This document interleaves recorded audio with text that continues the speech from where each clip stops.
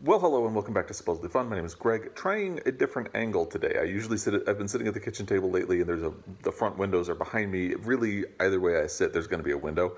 So I'm trying something a little different for lighting purposes. And I have a lot of books to cover because this is my book haul for January. So if this works, I might do more of this. But that's neither here nor there. You're just here to know about my book haul. So first, let's start with some just in. So I did my video on new releases that I'm looking forward to in 2020, and a friend here on BookTube actually sent me a couple of those, including American Dirt by Jeanine Cummins. This is the book that is currently courting a whole lot of controversy. Um, I had, was undecided about whether or not I was going to read it. I actually removed my library hold from it, but here it is. Um, so if you're if you're not familiar with the controversy, uh, basically it comes down to her portrayal of Mexican people and issues and poverty and uh, drug cartels, um, and whether or not it's problematic. So since I have a copy, I may read it and try it for myself and see what I think, but uh, undecided yet. Oh, and as always, I, I usually do the first sentence of a book. Oh, that's fun. I hadn't seen that yet. And here is the first sentence. One of the very first bullets comes in through the open window above the toilet where Luca is standing. Uh-oh. Uh, he also sent me The Big Goodbye, Chinatown, and The Last Years of Hollywood. This is about the movie Chinatown and the making of it, and uh, where it stood in Hollywood and uh, the the transition of Hollywood in the 70s, uh, which is something that I am particularly interested in.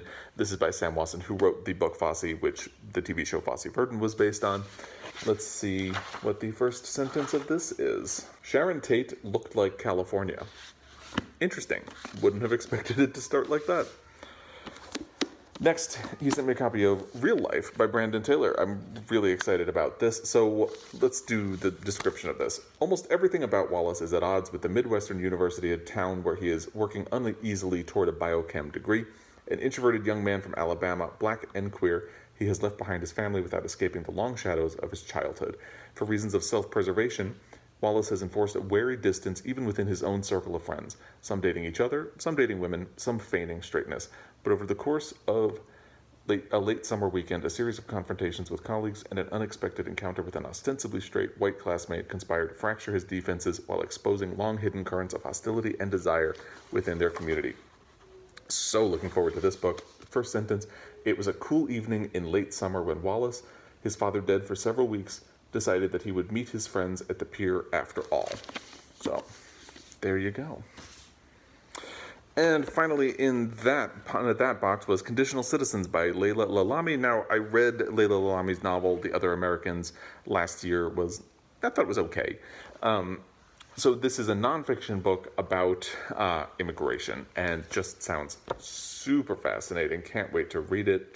the first sentence is This is a story about love and country, and I will tell it to you how I remember it in strands that took me years to untangle and then thread together.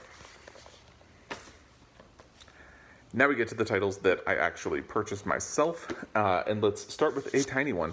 So I, I, I, don't have the name in front of me, but somebody had commented on uh, one of my videos in the past to ask if I would uh, read A Single Man by Christopher Isherwood and post my thoughts about it. And it, I told them that it's a book I had been thinking about reading and would hope to get to it at some point in the near future. And then I was in a bookstore and found this tiny little pocket edition from uh, Picador Modern Classics and just thought it was adorable. And, you know, why not grab it? Because it's actually, I had, my concern about these was the how readable they are, and you know, it looks really tiny on the screen, but it's actually not as tiny as you would think in person. So, very much looking forward to this. Let's see what the first sentence is. Waking up begins with saying M and now. Hmm. Then, uh, because my reading goals are to read outside my comfort zone, and part of that includes reading outside of uh, North America and Europe, um, an author I zoomed in on was Natsuo Kirino and the, this book Out, which I've heard good things about. And uh, I remembered Eric Karl Anderson had did a post on Instagram a while ago about these Japanese vintage editions, and I thought they were beautiful. So I ordered this one that was actually available in the U.S. and I ordered two more. Um, one from the U.S. and one for, uh, actually both of the other ones I think came from the one came from Book Depository and one actually had to be ordered from Amazon UK because it's just not available here. But uh, this is about four women who work the graveyard shift at a factory, burdened with heavy debts Alienated from husbands and children, they all secretly dream of a way out. A young mother among them finally cracks and strangles her philandering, gambling husband. She confesses her crime to her colleagues, and unexpectedly, they agree to help. But when the dismembered body parts are discovered, the police start asking questions, and more dangerous enemies begin to close in. Out is a psychologically taut and unflinching examination of the darkest recesses of the human soul and what makes the most ordinary person do the unimaginable. Sounds fascinating, and I've really struggled with mystery thrillers or psychological thrillers, so I'm hoping this is going to be a good one. First sentence She got to the parking lot earlier than usual. Hmm. And there is a note on currency to help you convert, except it's from yen to pounds. So that's not going to help me at all. So moving along. Now, part, also part of that read outside your comfort zone, I want to read genres I don't usually engage in, and I had mentioned that I got a copy of the fifth season by N.K. Jemisin for my niece to give her for Christmas. Uh, and they only had one copy of it at the time. So I they got it back in stock at one of my local indies. Grabbed a copy for myself. This is the first volume of the Broken Earth series. Um, I've heard really good things about it. Very much looking forward to it. I love N.K. Jemisin's politics and identity. So, and as a fun fact, uh, when I was looking into buying that book for my niece, I discovered that N.K. Jemisin's first name is Nora, and that is my niece's first name. So it was just a fun connection. So, very much looking forward to giving her a try in 2020. Oh, I love a book with a map. Check that out. and the first sentence is Let's start with the end of the world, why don't we? Sounds like a good place to start. Uh, I also bought a copy of Such a Long Journey by Rohinton Mistry. I've mentioned this before. Uh, this is going to be for a buddy read uh, coming up in the month of February. I'm getting ready to start it. Uh, I loved Rohinton Mistry's A Fine Balance. It was my second favorite book of 2019, so very much looking forward to this. So, if you remember, A Fine Balance is actually set during in, in the uh, leadership years of, of Indira Gandhi and uh, deals with the controversy of that. This actually does as well, following a character named Gustave Noble who becomes involved in everything going on. The first sentence is The first light of morning barely illumined the sky as Gustave Noble faced eastward to offer his orisons to Ahura Mazda. I don't know if I said some of those words correctly, but looking forward to reading this in February. Now, I got a lot of recommendations about authors from other countries, especially Australia, from people uh, on that video about my 2020 reading goals. And among them, Tim Winton was mentioned several times. And I happened to be in the used bookstore in my area and saw that they had several of his books. I immediately grabbed Cloudstreet because that seems to be the one that most people point to. And it sounds very good.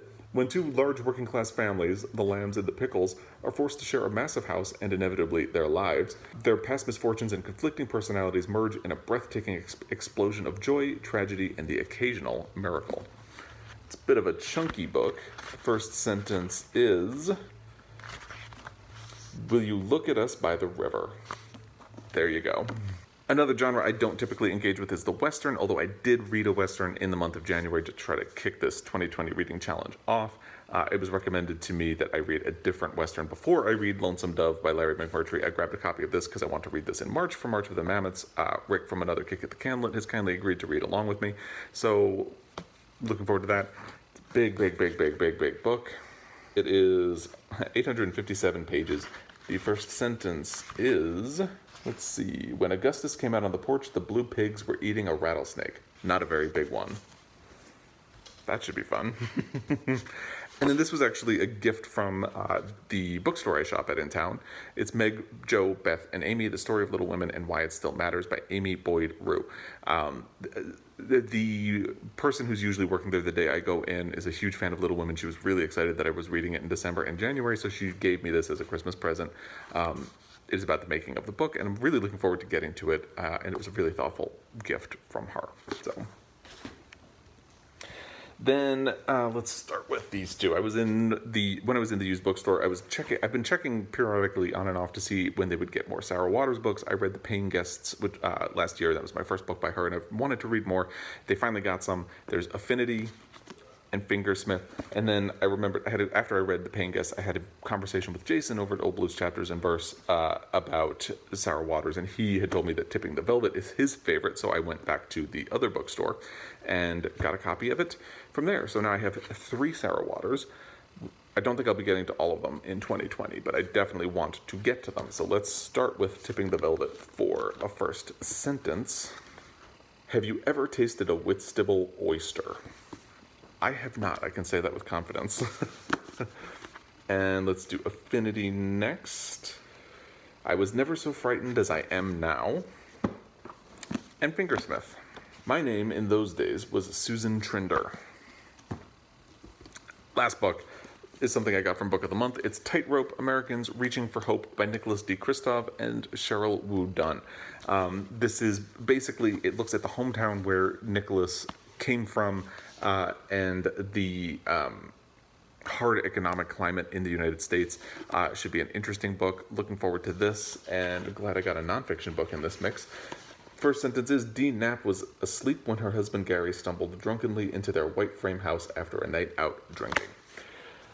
And there you have it. Those are the books I brought into my library in the month of January, quite a lot. And then with the three boxes that my father shipped me, it's a lot. So I'm getting ready to do an evaluation of my bookshelves and really be tough and unhaul a lot of things. So um, stay tuned for that.